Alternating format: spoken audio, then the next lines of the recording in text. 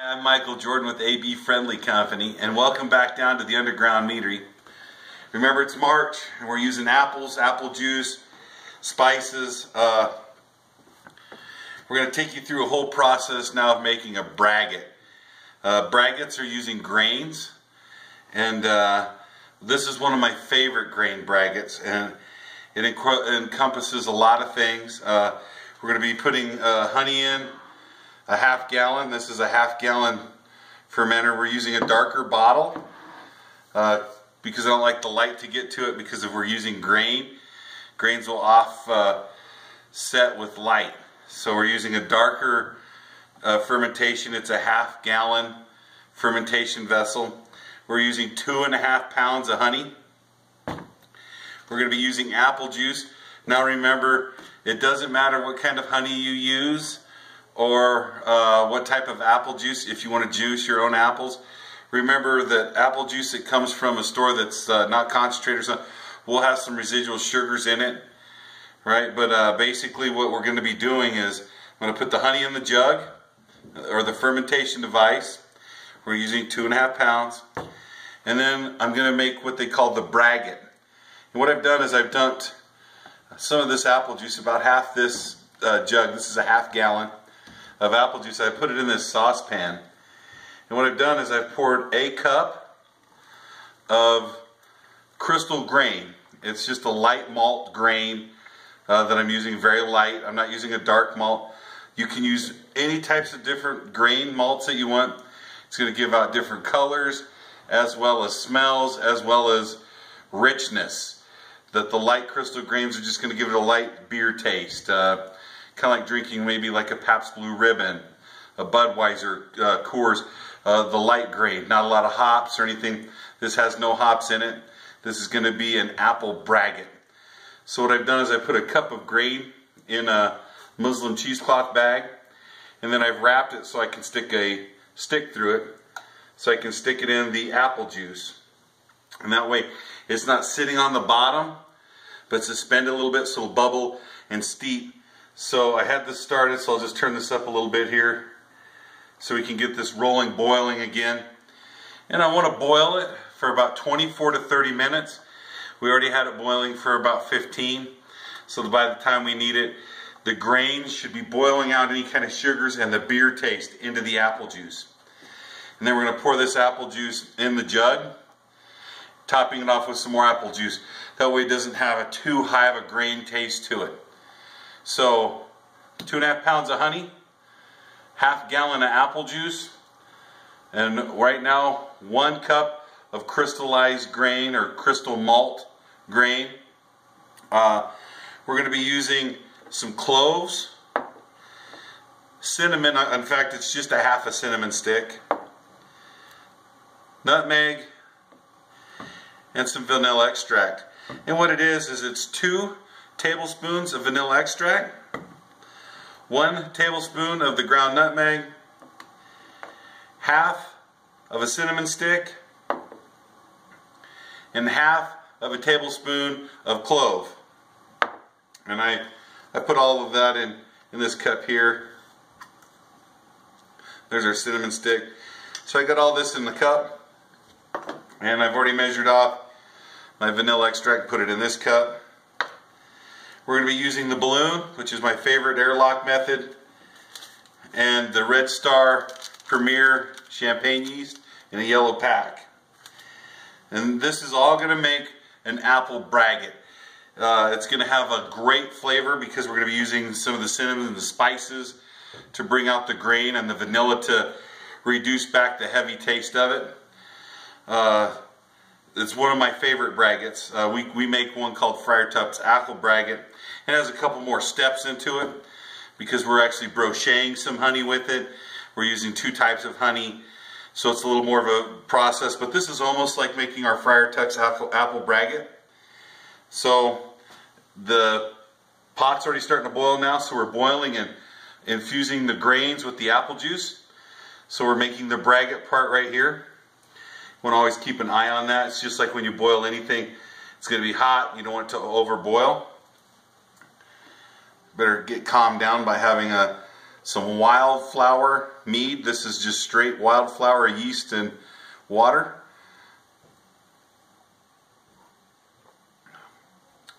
Mm, very sweet. All right, turn this down just a little bit.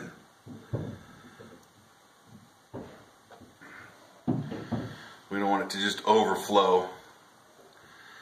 All right, so let's get started. We're going to go ahead and we'll take our honey.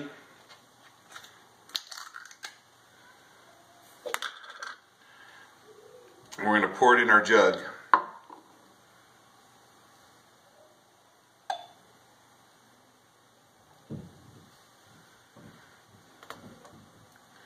Gotta just keep an eye on that. All right. Now usually when we add our honey, we're going to use it, follow up with like some hot water. But since we're going to use the braggot mix, which is the steeped grain, we won't need to do that. And then I also turn around and I take my half gallon jug of uh, apple juice and I put it in the refrigerator so it's really cold. So that way it'll balance out and cool this off so we can dump the yeast in. Now the apple juice I can smell really grainy. Uh, it's really starting to put off a really grain smell.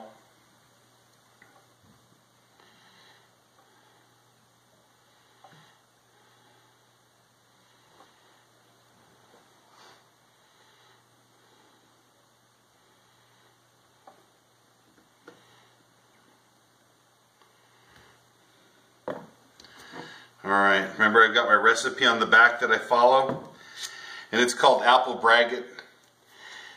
Uh, so we've added the honey, so I'm just going to go ahead and I'm going to use this funnel here.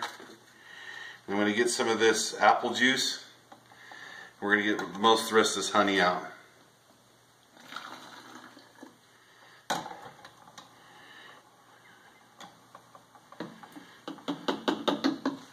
So it's not going to take very much.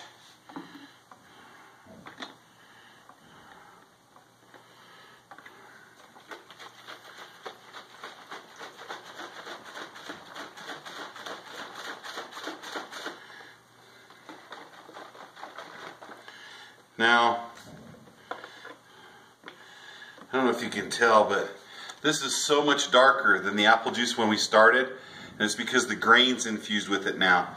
So it's the apple juice is going to have a much darker color to it when we add it because of the grain addition. All right. I always save my jugs so I can refill them when we do our own honey so that way I don't have to get containers for the honey. So this has been boiling and uh, this just sits and steeps in it. You can really smell the aromas of the grain and it changes it, it's almost like tanning it. It's going to give it a different color, different smell and an infusion. This is going pretty good. So what I'm going to do is I'm going to turn off my hot plate. I'm going to take this off. I'm going to take out my grain bag.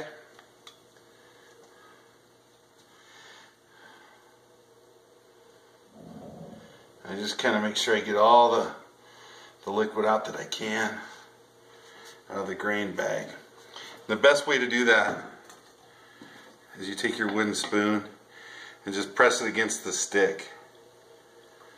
All right, that's one reason why I put a stick across it it allows me to push something against it to get the grain juice out. There we go. Now you can dump the grain to your chickens, mix it up, uh, and do your fungal for your mushrooms. So don't throw the grain out. The grain could be used for potting soil and other mixes. So now we'll pour this in here. See, I'll turn a little bit so maybe you can see the color as we go. So you can see how much darker the mix is because we've infused it with the apple juice. Now what I've used when it comes to the measurement of the apple juice is basically I took set that here. I've taken, this is a half gallon. So I've taken approximately a half of the half gallon and I used it to make the, the braggot part, which would be the boiled grain in the liquid.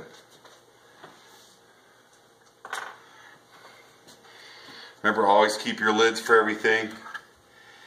Now this is where we're going to melt the honey with the boiled grain. Hot. So it's going to want to steam a little bit when, when doing stuff.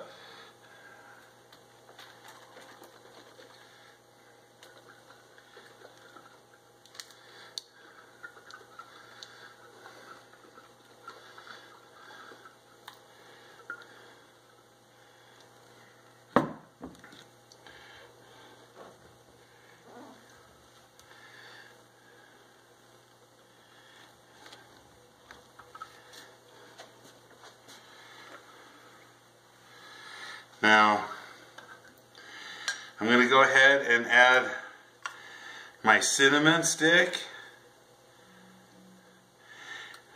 our nutmeg and clove,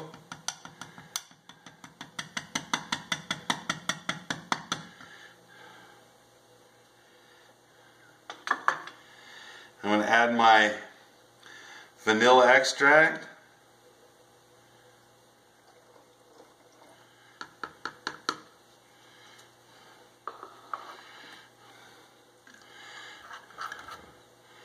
Give that a little jostle too.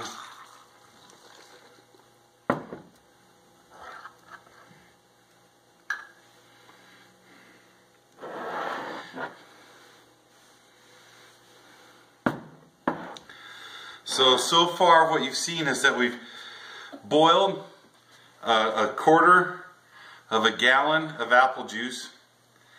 And what we did is added one cup of a light crystal malt grain. And we boiled that for about 24 minutes. We put in two and a half pounds of honey, mixed the braggoted apple juice to the honey, got it to dissolve. Then we added our clove, our half a stick of cinnamon, our nutmeg, and our vanilla. We've got that all mixed in there. Now I'm going to top it off with some cold apple juice, right, to give out more of the apple taste. Because when the grain gets in it, the grain pretty much kills the residual apple. So we're just going to boost up the apple taste now.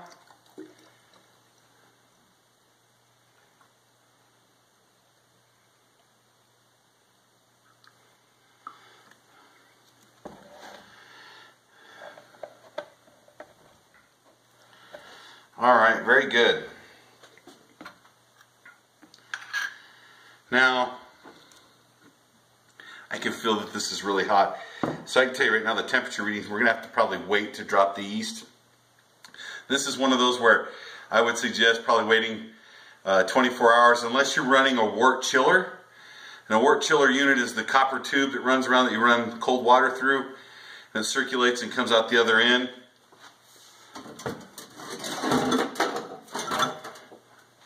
This is a wort chilling device. You're able to hook this onto the tap or a garden hose and then hook your other residual hose on the top here. What it does is it cools the copper. You can stick it in your, your pots and everything and that way you can cool everything down that you're using is faster. Um, for small items like this, you can do an ice bath. We're sitting in a sink with some ice water to cool it down or set in the refrigerator for a period of time, or wait for the 24 hours to let it acclimate to the surrounding temperatures of the room. But this already is telling me, yeah, this is uh, 115. So this would kill yeast going into it, it'll just cook it. So when this drops to a better temperature, we'll be able to dump this yeast in it and put the balloon on it. So this will go with it when we're done. But we want to go ahead and we're going to wait for the temperature drop before we put it on our jug. But we're going to get the starting gravity out of it. So let me get my test tube.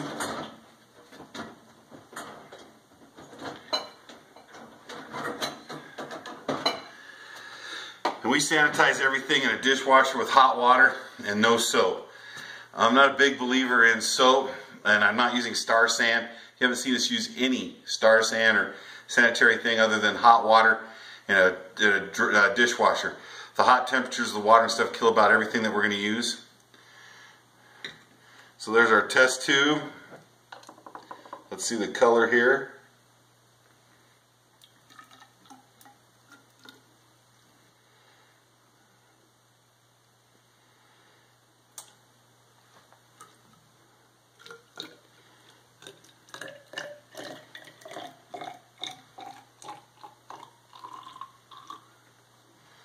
All right. Now, from all the others, look at the dark amber to that. That's a pretty color. The only other one that you saw that had vibrant colors like this is when we did our like Valentine blood, bloody Valentine one with the oranges and stuff. So this one right here is, uh, is a little bit darker.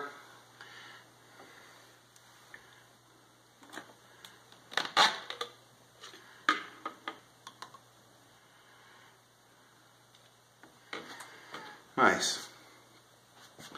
So that says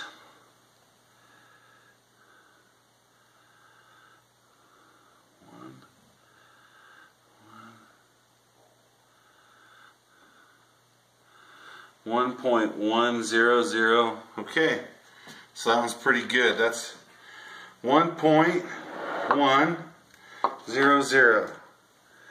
One point one zero zero. So that's our starting gravity with this one. Make sure we get the clothes and all the stuff back in it as best we can.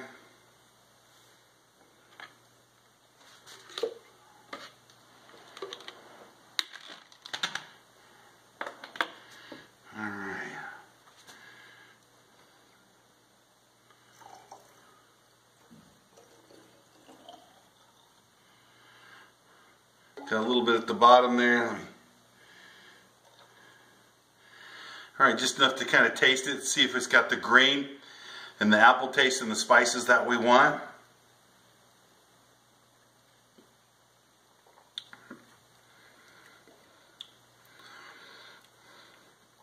Oh yeah, it comes off strong right off the bat with the grain. And then the uh, cloves and the spices kind of settle it off and then the apple juice towards the end. Um, the sweetness stuff should all settle out once the honey's all been eaten in it. So we're going to set this here with our balloon and our yeast. We'll get things kind of picked up and ready to go.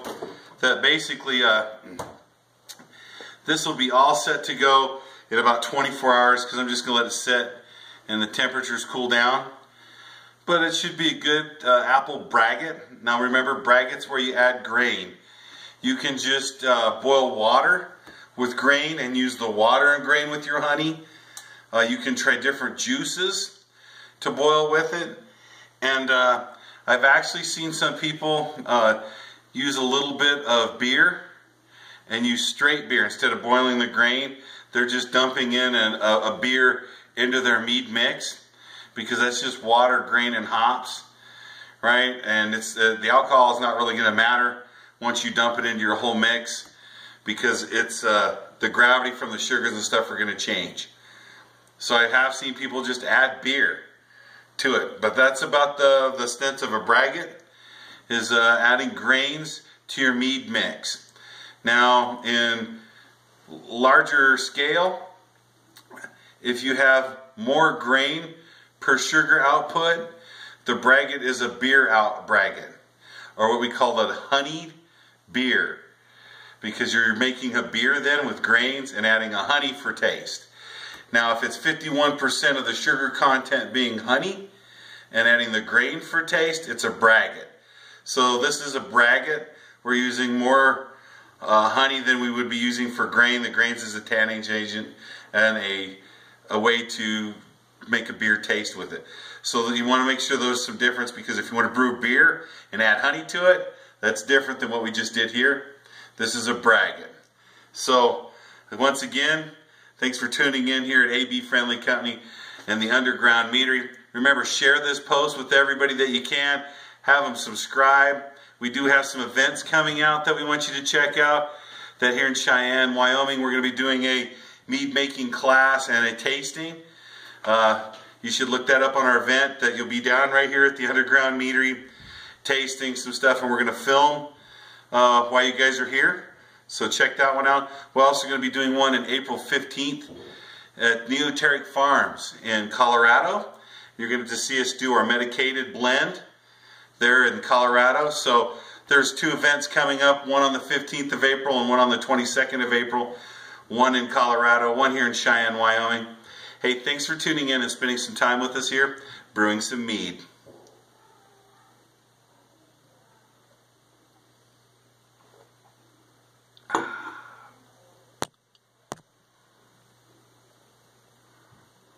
Okay. You gotta come, uh, this might be running out of juice. What's that purple deal?